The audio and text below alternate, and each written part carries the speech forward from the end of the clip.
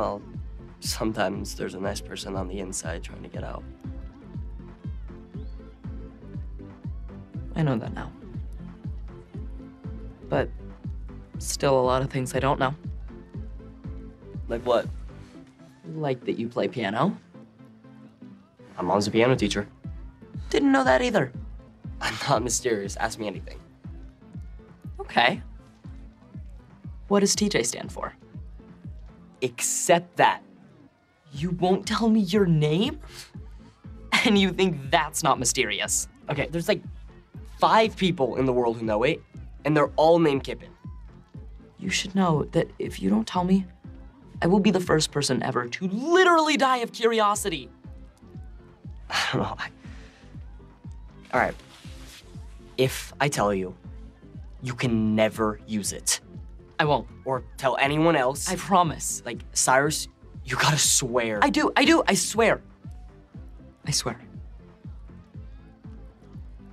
All right. My parents are way into music, and they name me for their favorite artists. That's not so strange. TJ stands for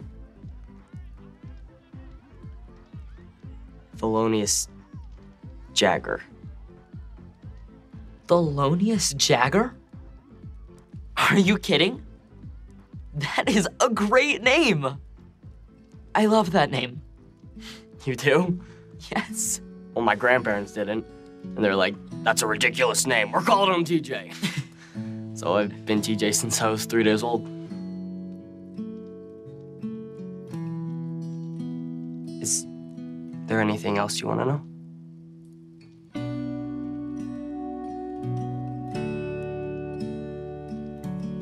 Is there anything else you want to tell me? Yeah. Is there anything you want to tell me? Yes.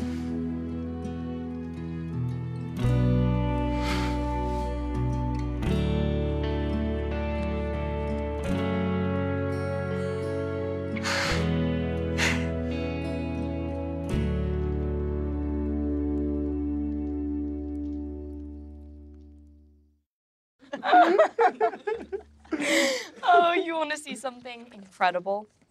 Nah, I do. This is the cutest picture I've ever seen, including my own baby pictures. First day of second grade. That's the day that we met.